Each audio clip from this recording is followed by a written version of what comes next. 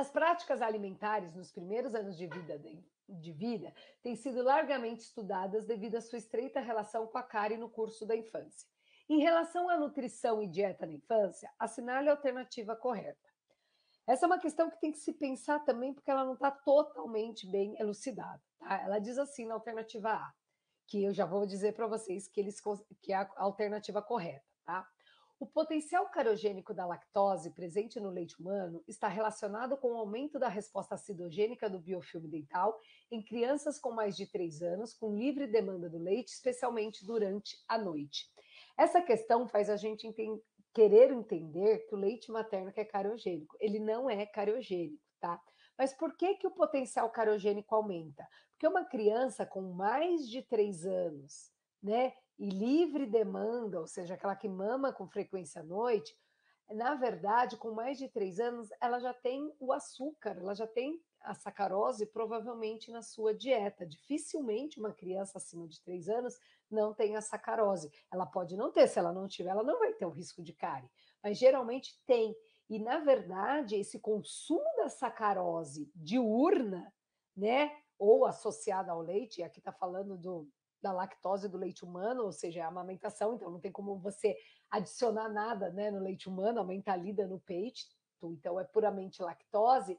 Na verdade, a lactose continua sem, é, não sendo considerada carogênica, porém, quando você tem o açúcar na, na, dieta do dia da criança, ou seja, ela consome açúcar em, momento, em algum momento do dia, essa frequência né, passa a ser é, prejudicial. Por quê? Porque a criança ela tem um desafio de pH constante e as bactérias já colonizando, já armazenando essa sacarose, ou seja, o risco de cárie aumenta. É difícil entender para quem está entrando nesse conceito atual de carologia.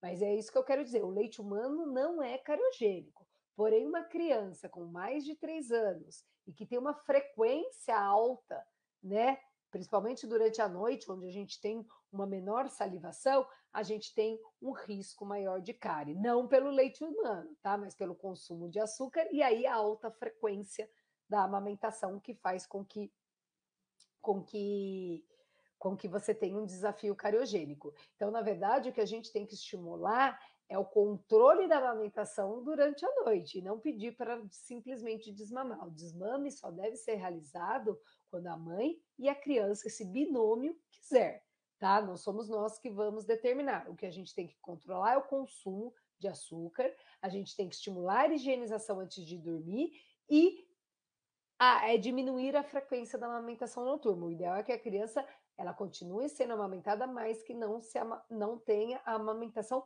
noturna, tá? Então é isso que a gente quer dizer. Então, por isso que eu falo que essa, essa, essa questão é um pouco é, difícil de entender, porque as pessoas já vão pensar no leite não cariogênico, tá? Então você tem que pensar em todo o contexto da doença cárie na infância. Alternativa B.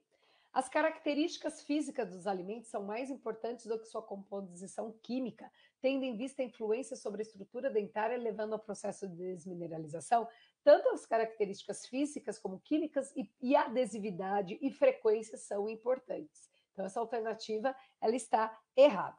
Alternativa C. A caseína presente no leite e nos queijos une-se fortemente à hidroxapatita, aumentando sua solubilidade e facilitando a adesão dos micro-organismos cariogênicos no esmalte. Pelo contrário, a caseína ela diminui a solubilidade, ela é um fator de proteção, tanto que a gente tem a pasta à base de caseína para remineralização, que é a tecno tecnologia recaldente CPP-ACP, tá? Então, essa alternativa está errada. Alternativa D. O sorbitol é um adoçante não calórico que não provoca alterações no pH do biofilme porque não é fermentado pelas bactérias encontradas na cavidade bucal. O sorbitol ele não é cariogênico, mas ele é calórico, tá?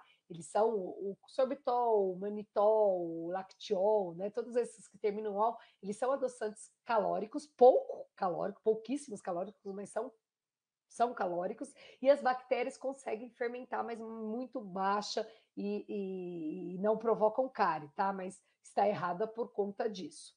E ela diz que o ciclamato É um adoçante calórico fermentado pelas bactérias encontradas na cavidade bucal que pode ser aquecido e não apresenta sabor metálico residual. Pelo contrário, né, ele é um adoçante não calórico, tá? Ele não é fermentado pelas bactérias e ele tem sabor residual. Então essa está errada. A alternativa correta é a alternativa A.